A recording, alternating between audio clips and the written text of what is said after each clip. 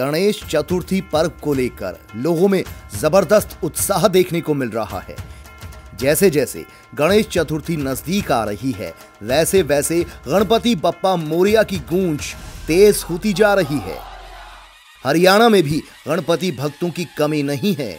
यमुनानगर में मूर्तिकार भगवान गणेश की मूर्तियाँ बना रहे हैं, जिससे बाजारों की रौनक भी बढ़ गई है।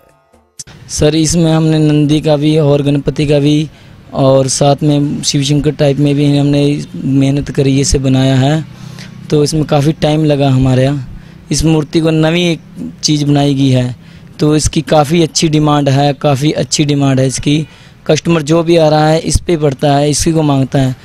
शंकर भगवान और माँ पार्वती के छोटे बेटे भगवान गणेश जी शुभ कार्य के प्रतीक माने जाते हैं। इसलिए सबसे पहले भगवान गणेश की पूजा की जाती है।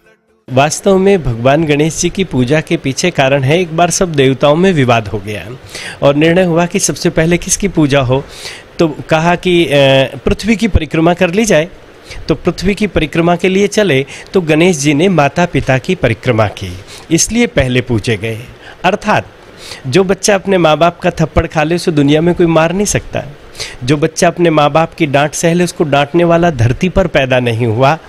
माँ बाप की पूजा गणेश जी ने इसलिए की, इसलिए वो प्रथम पूजनीय हो गए और यही शास्त्र सम्मत जो सनातन पद्धति में गणेश जी की उपासना का कारण यही है कि उन्होंने अपनी माता पिता को समस्त ब्रह्मांड समझ करके पूज लिया था। इसलिए वो प्रथम पूजनीय दो सितंबर को गणेश जी की मूर्ति स्थापित की जाएगी।